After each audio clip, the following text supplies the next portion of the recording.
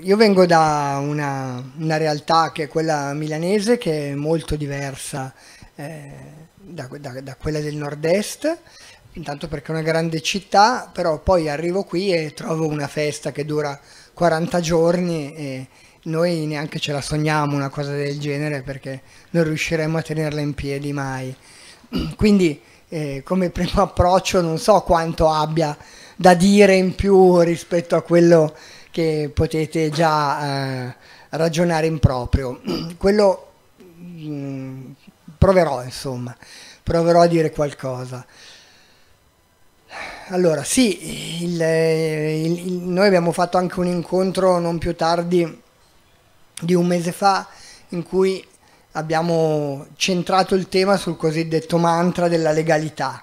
Eh, tu l'hai chiamato il mantra della sicurezza, se non mi sbaglio, ma più o meno siamo nello stesso ambito, e cioè a dire che eh, ci troviamo di fronte ad un fenomeno che è di carattere strutturale, non, è un fenomeno, non è un'emergenza, non è un fenomeno che capiti ogni tanto, ma ormai è un fenomeno che fa parte della vita eh, dell'Occidente a pieno titolo, che la, che la rappresenterà e che la traverserà per tutti i prossimi decenni a venire è eh, un fenomeno che però ci viene continuamente riproposto come se fosse da una parte eccezionale e come se si potesse contenere. Ecco, questo è un tema eh, che mi è molto caro, e cioè l'idea del contenimento, che è l'unica idea che ci viene proposta in realtà, cioè non, è, non ci sono altre,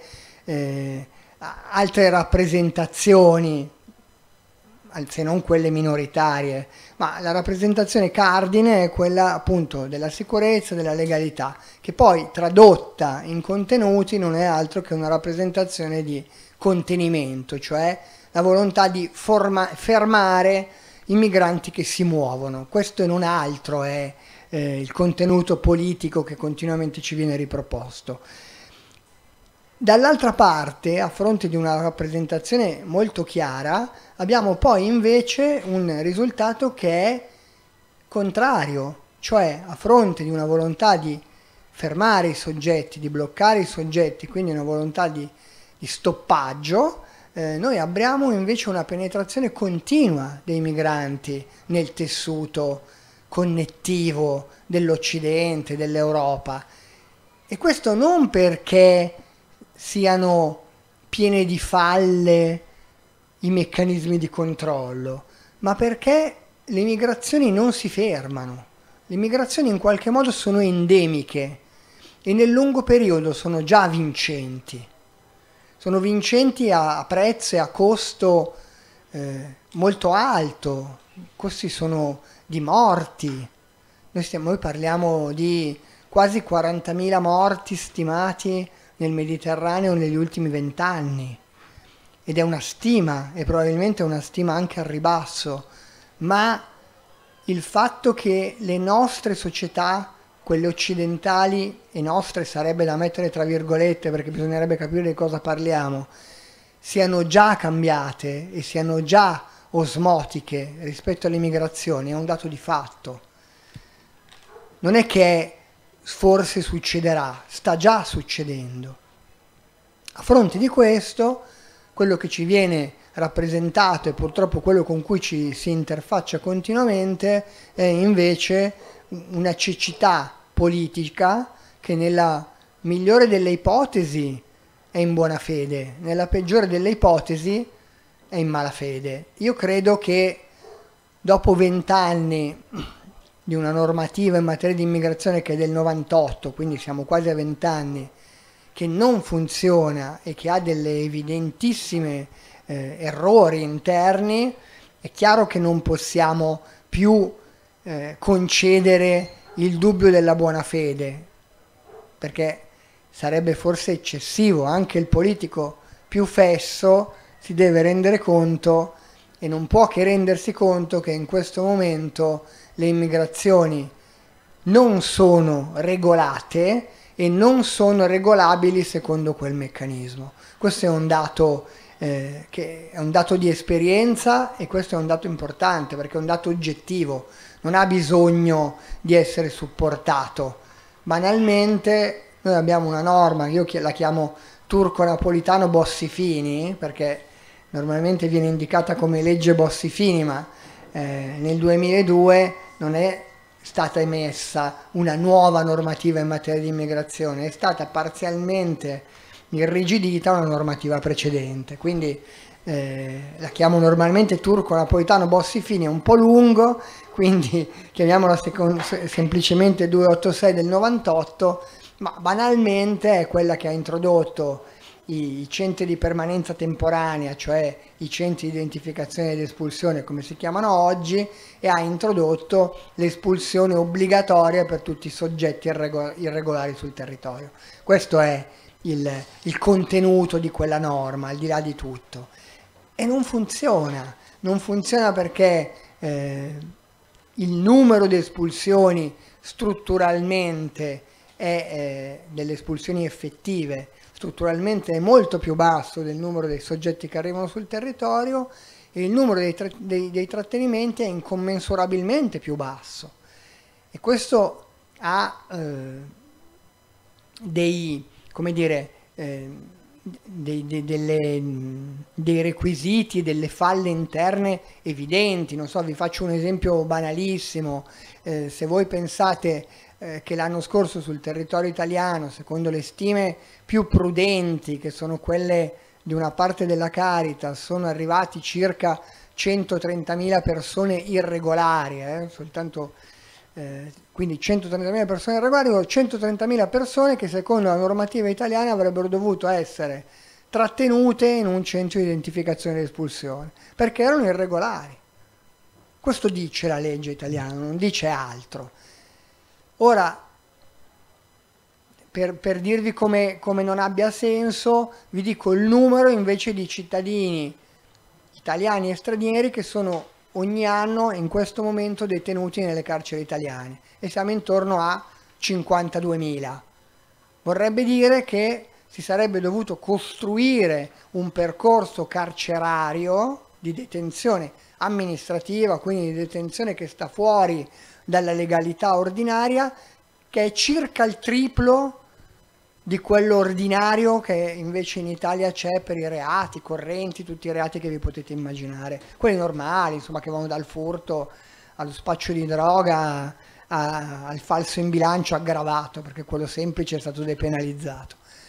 Quindi sono norme che non hanno un valore e una cogenza legata all'efficacia, cioè al fatto che effettivamente funzionino, perché non funzionano da 19 anni e non funzioneranno nemmeno l'anno prossimo, fra due anni o fra tre anni. Hanno però un fortissimo valore simbolico.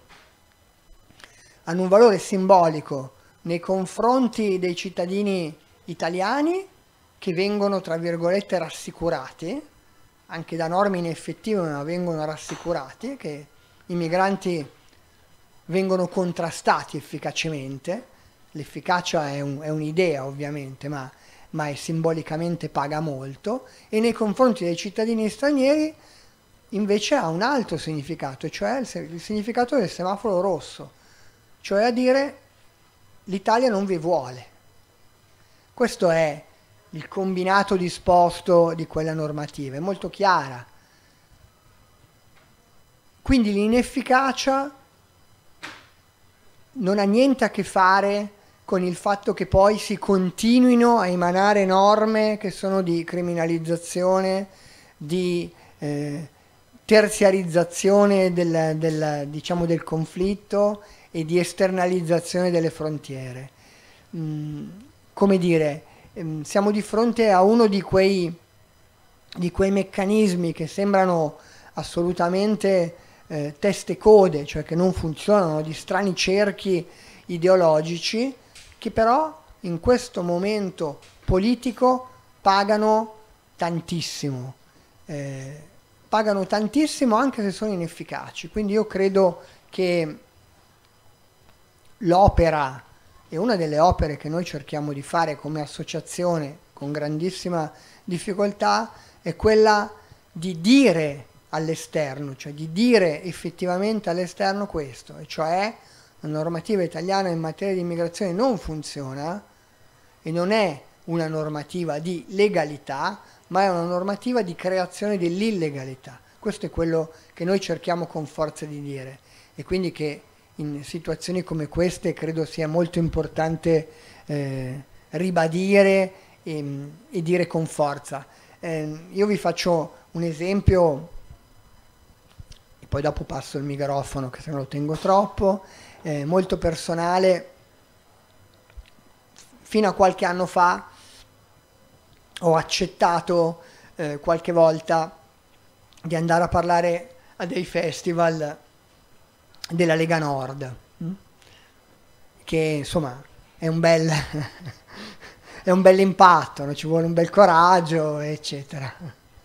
E ok, ci vuole un bel coraggio, però insomma vabbè, mangiavo il panino, poi ero in incognito, poi mi sedevo e a quel punto usavo due trucchi che davano un risultato. Il primo trucco era estremamente soggettivo e eh, dovuto alla mia biografia, e cioè gli parlavo in dialetto. Gli parlavo in dialetto milanese e a questo punto già molti dei soggetti da una parte trasecolavano, dall'altra parte aprivano le orecchie perché non ero uno di loro. Hm? Serino sarebbe tradotto in, in milanese. E, e, quindi questo gli permetteva di, di, di creare un, un, passaggio che forse può funzionare anche con il Veneto, che anche qui insomma ha una bella base sotto quel profilo. Dall'altra parte invece dicevo una cosa vera, e cioè facevo una domanda a tutte le persone che erano lì, ed era questa la domanda, ma secondo voi se un immigrato ha il permesso di soggiorno, no, l'ho già sbagliata, se un immigrato ha un lavoro, eh, può ottenere un permesso di soggiorno se lavora, eh? se lavora in un'officina, dove volete voi, se lavora può ottenere un permesso di soggiorno. normalmente la stragrande maggioranza delle persone che erano lì sedute mi dicevano, beh certo, eh sì, sicuramente, questo è ovvio. E a quel punto io gli dicevo no, per la legge italiana no, il lavoro bisogna averlo prima del permesso di soggiorno, non dopo. Non è una conseguenza che mi fa ottenere il permesso di soggiorno, ma è il requisito che me lo fa concedere. Quindi tutti i cittadini stranieri che lavorano nell'indotto del nero, della logistica, delle badanti, dei, delle fabbriche, tutto quello che volete, in quel caso io mi riferivo al territorio più o meno lombardo, non può diventare regolare perché la normativa italiana glielo impedisce.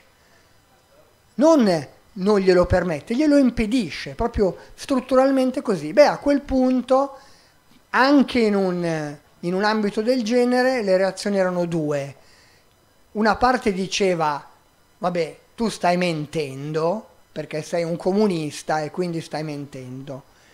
Io normalmente rispondevo no, guardate, io sono anarchico, però no, questo non incideva moltissimo e fa niente. Dall'altra parte però molti di quelli che c'erano, una buona metà, reagiva con una sorta di stizza e diceva vabbè la legge è sbagliata, certo che la legge è sbagliata.